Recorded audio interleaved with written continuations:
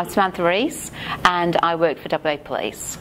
My job is team leader at the Police Assistance Centre, so I supervise call takers taking triple zero and one three one triple four calls, and I've worked in the public sector for 10 years.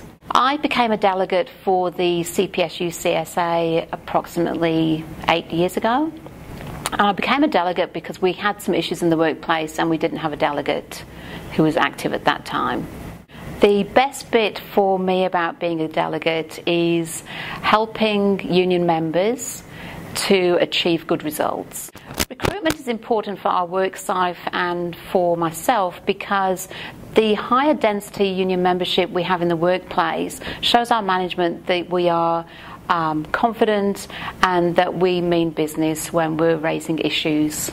The first time I asked somebody to join the union, I was a little nervous about what the response would be, um, but that member signed up and that gave me confidence to continue asking union members to join. People in the past have objected to join the union based on maybe the fees. They're saying I can't afford it. Um, some people may have had a bad experience with unions in the past or may have family members who had bad union experience. So they can be some of the objections. Um, really, my response to that is that you can't afford not to be a member, especially in the current climate. I believe I can get around a no answer.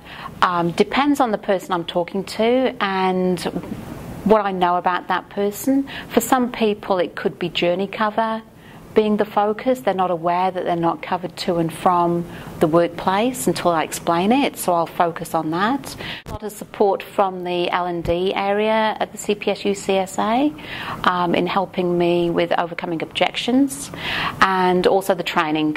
So delegate training is really important. Become a delegate because you learn so much and knowledge is power. And once you've got that knowledge and you gain experience, you can be confident when you approach management. We have had a lot of support provided by our union organiser, Simon. He will come out to our workplace, he's available, we can email him, um, I can ring him if there's an issue that crops up, or to discuss um, whether there are issues that he's aware of in other areas of our same department. So he provides a lot of experience and knowledge to assist delegates. Some people object to joining the union because they believe they can't afford it or they believe that the union doesn't do anything for them. And to overcome that, it's we can point to wins that we've had in the past or even issues that we're working on at the time.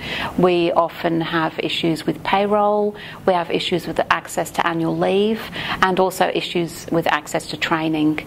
And the union provides a lot of support um, and advice for that. And I can then go to the, the prospective member and say, This is what the union is doing for our workplace this week.